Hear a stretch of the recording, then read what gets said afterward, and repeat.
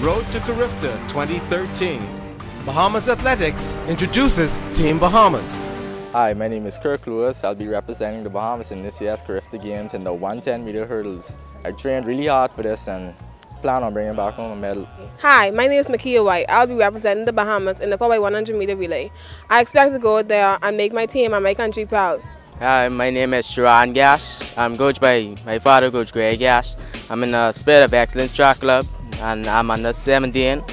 And this will be my first Carifta participating in.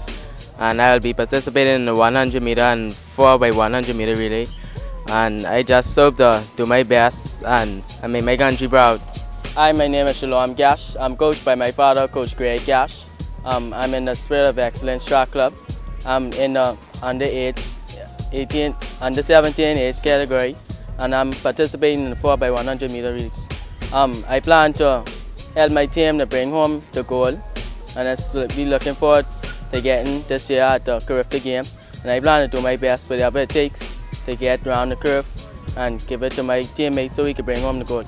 Hi Bahamas, my name is Shante Russell and this is my first Carifta Games and I'm super excited about it. I'm excited to get the experience and hopefully I'll medal and I'll do my country proud and I would like to thank the wonderful Norma Miller for training me I put in a lot of work to get here and I hope I do my country proud. Uh, good afternoon, my name is Joshua Stubbs. I'm from Club Monaco. I'll be representing the Bahamas in the 400 meter hurdles and hopefully run the 4x4 relay.